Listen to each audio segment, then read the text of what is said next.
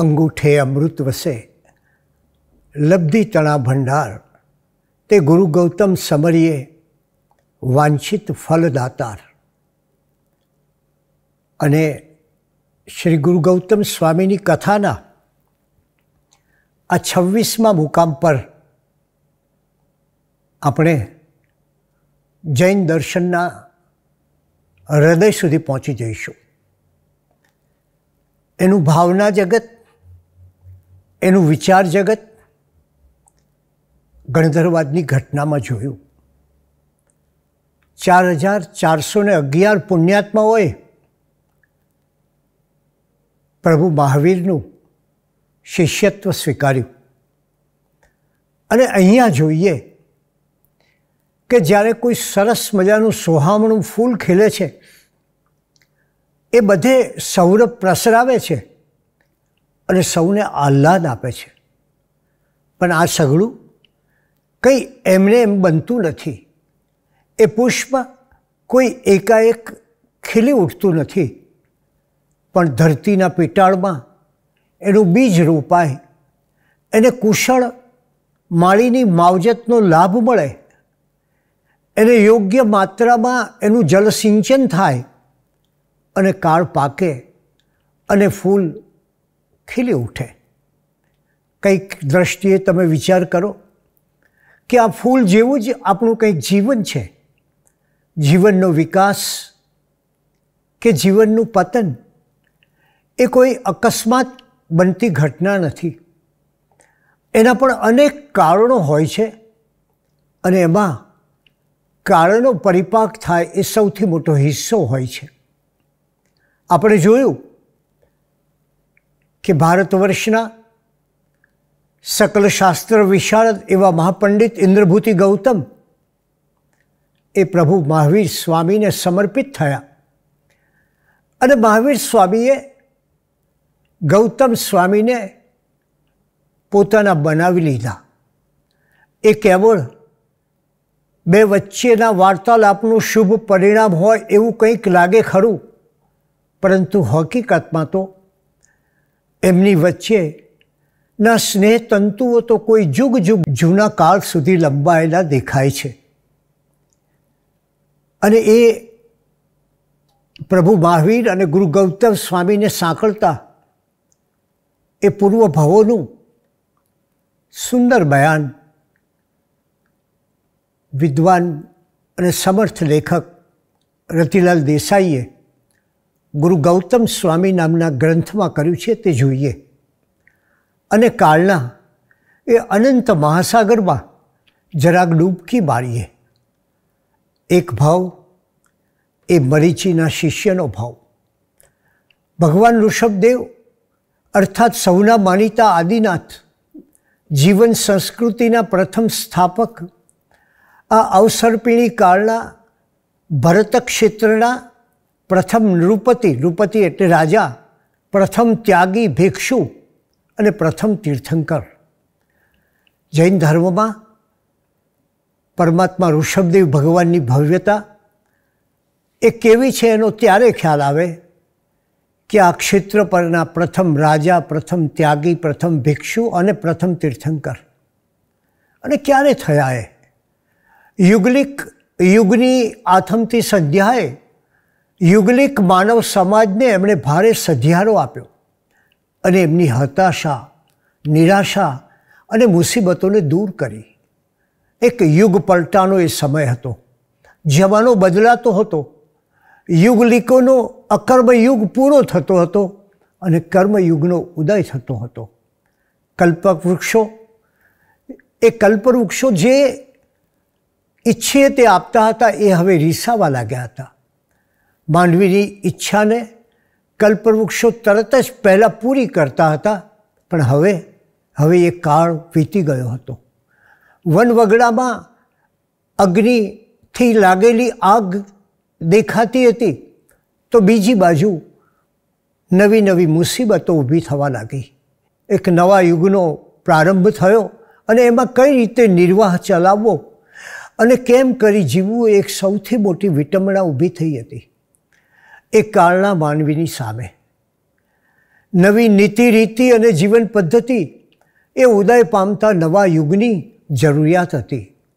કુલકરોના, શ્રેષ્ઠ નાભિરાજા અને મારુદેવીના પુત્ર ઋષભકુમારનું ભાગ્ય વિધાન યુગપુરુષ બનવાનું હતું.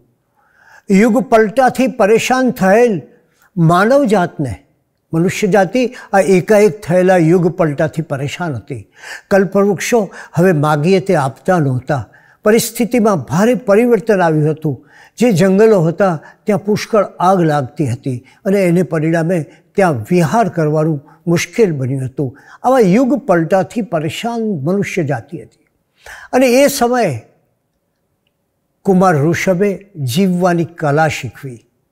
કલ્પવૃક્ષ કરતાં પણ ચડિયાતી અને વધુ મૂલ્યવાન સિદ્ધિઓ ધરાવતા માનવ દેહનો મહિમા સમજાવ્યો. અને માનવીના અંગ પ્રત્યંગોને અને બુદ્ધિનો સહકાર કેવું અદ્ભુત સર્જન કરી શકે છે એમણે સ્વયં પ્રથમ કરી બતાવ્યું. યુગલિક નરનારીઓ ભારે નિરાત, આશા અને ઉત્સાહ અનુભવી રહ્યા. એક કર્મયુગનો પ્રારંભ થયો. કર્મયુગ એટલે અસી મસી અને કૃષિનો યુગ. ક્યાં શુરાતન અસી એટલે શાસ્ત્ર, ક્યાં વિદ્યા કળા, મસી એટલે વિદ્યા અને કળા, અને ક્યાં કૃષિ કૃષિ એટલે ખેતી અને હુન્નર ઉદ્યોગ. એની માટેની જાત મહેનત હોય એ બતાવી.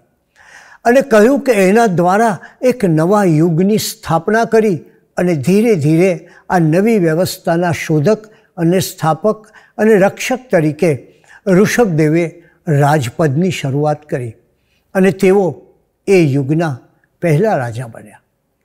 પણ ત્યાગ માર્ગની યાત્રા વગર માનવી પોતાના દેહને કઈ રીતે સાર્થક કરી શકે? એટલે ઋષભદેવ, રાજા ઋષભદેવ એ રાજપદનો ત્યાગ કરે છે. એ જમાનામાં કોઈને કલ્પના નહોતી કે ત્યાગ એ શું કહેવાય. અને રાજા ઋષભદેવના ત્યાગે એક જગતને ત્યાગનો નવો મહિમા, નવો આદર્શ આપ્યો. રાજ્ય પોતાનું એમણે પુત્રોને સોંપી દીધું અને વિશ્વના પ્રથમ ત્યાગી ભિક્ષુક બની ગયા. ન માથે છત્ર, ન પગમાં પગરખા, ન કોઈ રથ, વાહન માટે અને એમને એમ ત્યાગી ઋષભ ચાલી નીકળ્યા અને આત્મ સાક્ષાત્કાર એ એમનું ધ્યેય બની ગયું. એ ધ્યેયને સફળ કરીને તેઓએ માનવજાતને એના ઉદ્ધારનો માર્ગ બતાવ્યો અને સર્વ મંગલકારી એવા એ સમયે ધર્મ તીર્થની સ્થાપના કરી. ભગવાન ઋષભદેવ એ યુગના પ્રથમ તીર્થંકર કહેવાયા. અને એથી વિશેષ તો માનવજાતના એક નવા યુગનો ઉદય એ એમના દ્વારા થયો. આવા જાજરમાન હતા ભગવાન ઋષભદેવ. તેઓ યુગ દ્રષ્ટા પણ હતા.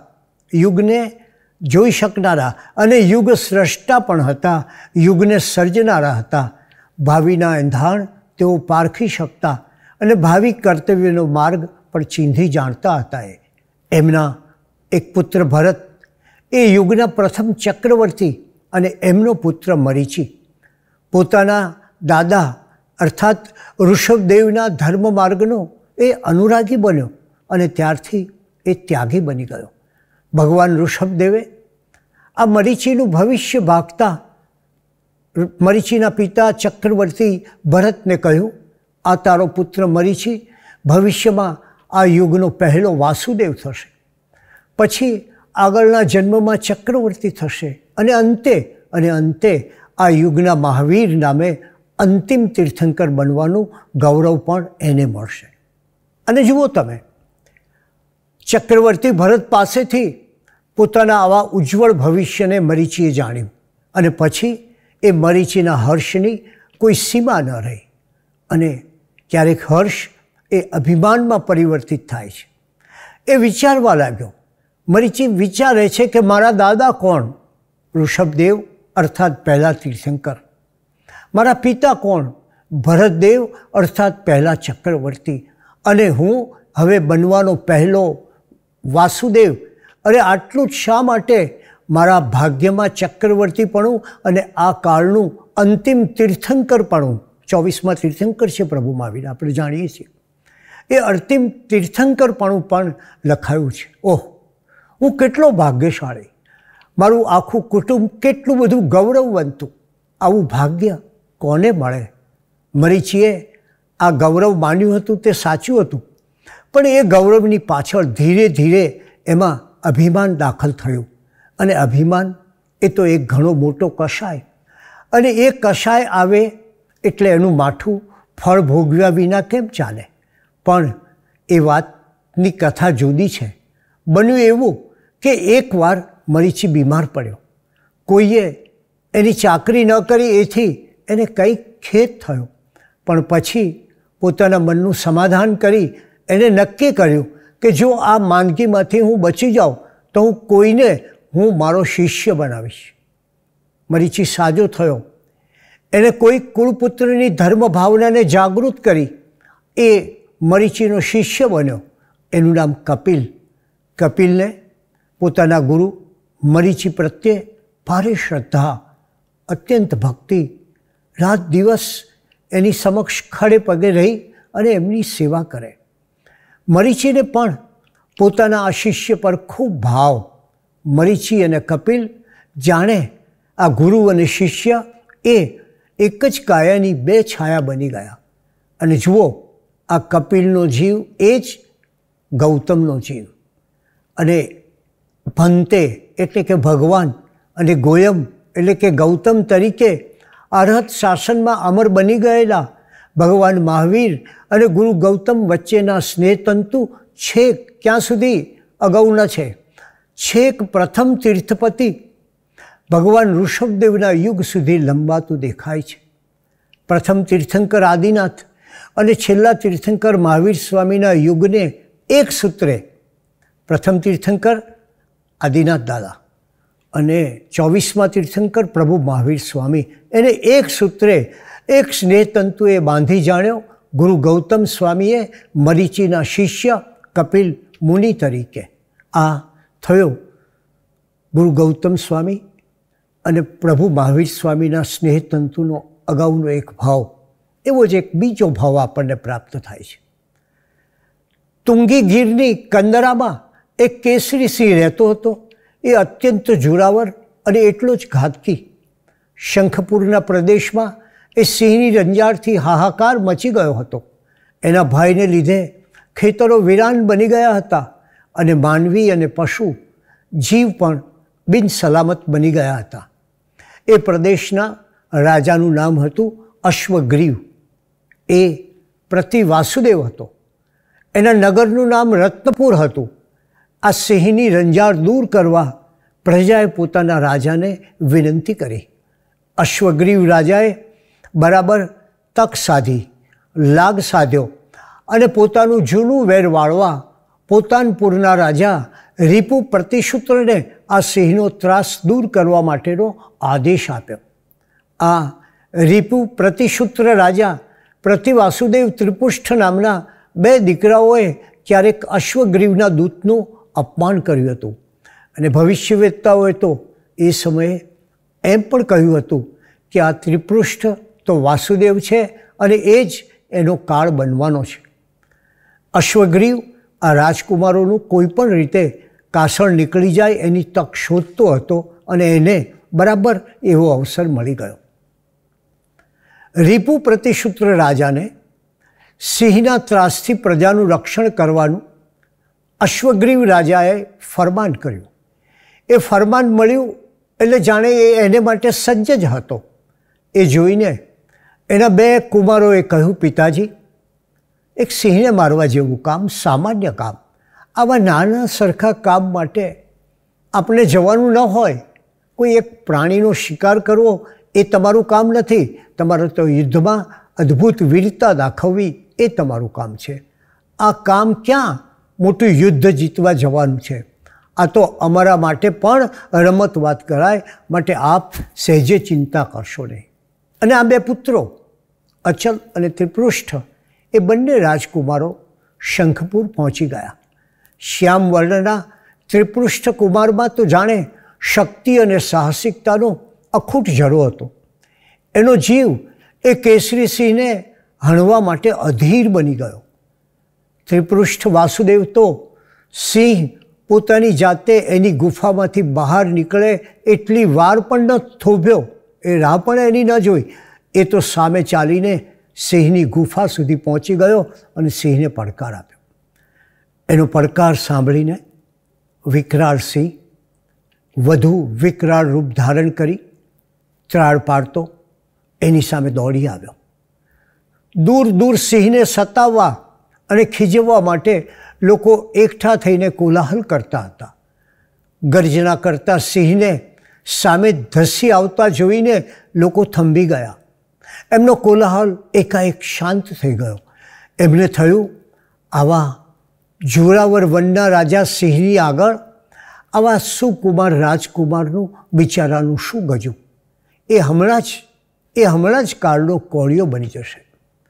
વાતાવરણમાં ચોપાસ ચિંતા ઘેરાઈ ગઈ. પણ કુમાર ત્રિપૃષ્ઠ તો શક્તિ, નિર્ભયતા અને પરાક્રમતાનો અવતાર હતા.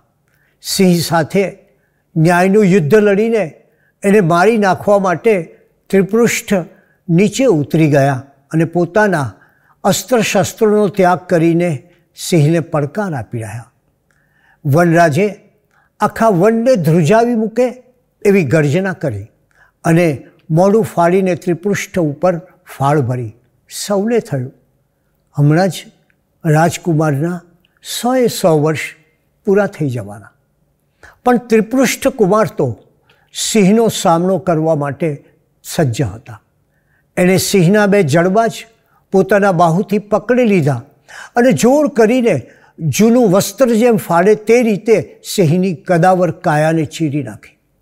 સિંહની કાયા તો ચીરાઈ ગઈ હતી, પણ એમાંથી એનો આત્મા છૂટો થતો ન હતો, જાણે અંતરની કોઈ ઊંડી વેદના આ સિંહના જીવને જકડી રહી હોય તેમ લાગ્યું.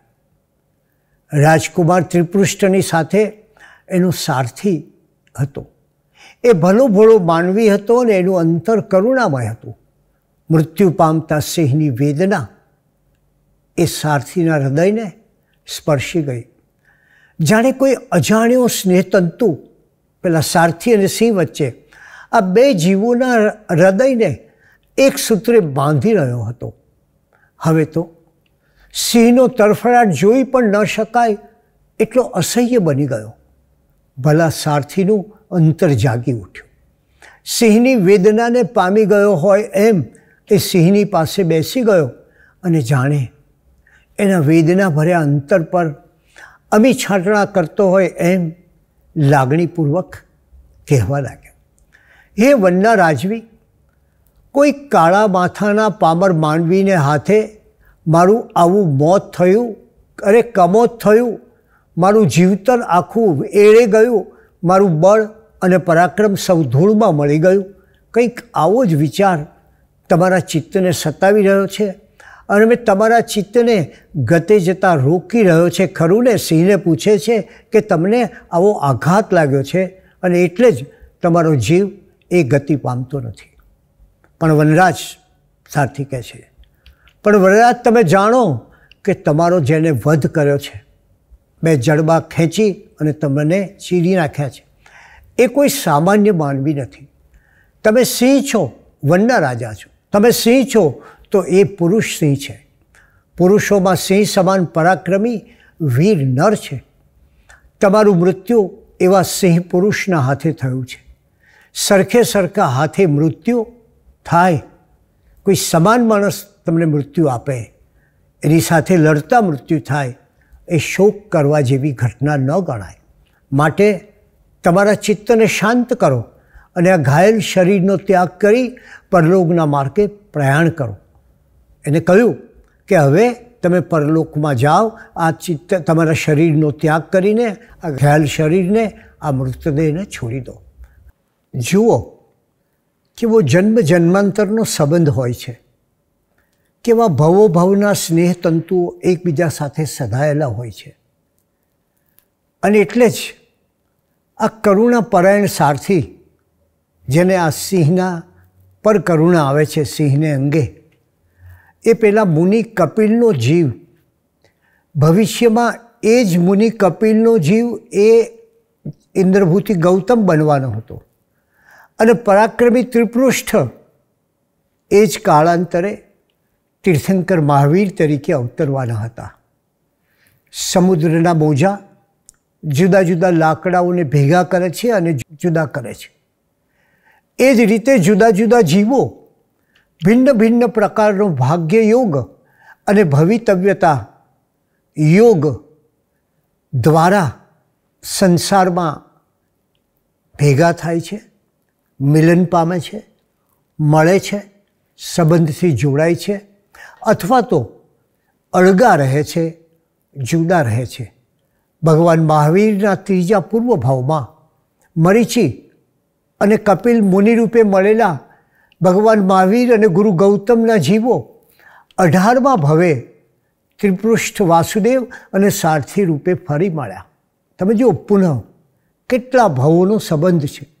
અને ફરી પાછા જુદા પડી ગયા. અને અંતે અંતરના સ્નેહનો દોર તો અખંડ જ રહ્યો. અને કેવો અખંડ રહ્યો? ક્યાંથી શરૂ થયો? અને કેવો ભાવોભાવની યાત્રા? છેલ્લા ભાવમાં ભગવાન પોતે જ સ્વયં આ ભાવભાવની યાત્રાનું અંત ક્યાં છે? અને જુઓ, કેવી ભવ્ય વાત છે. છેલ્લા ભાવમાં ભગવાન સ્વયં પોતે ગૌતમ સ્વામીને આશ્વાસન આપતા કહે છે કે એમની અને ગૌતમ સ્વામી વચ્ચે ઘણા વર્ષોનો સ્નેહનો દોર પ્રવર્તતો હોય છે.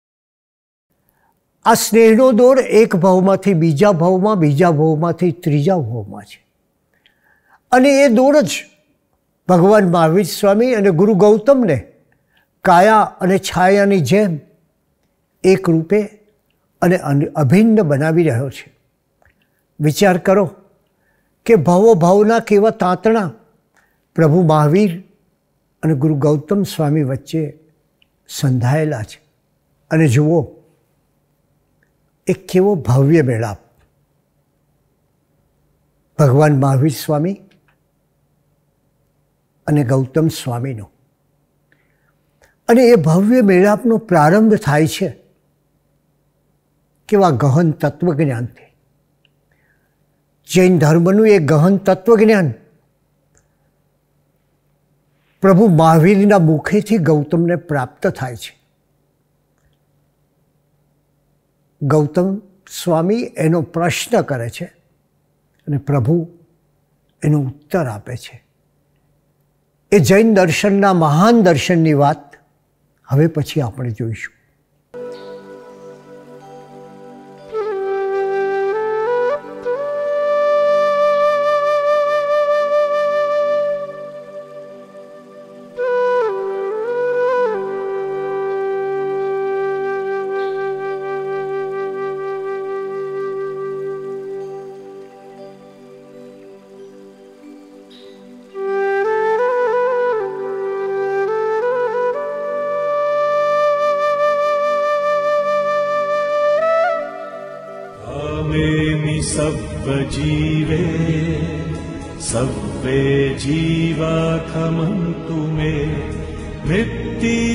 سببوا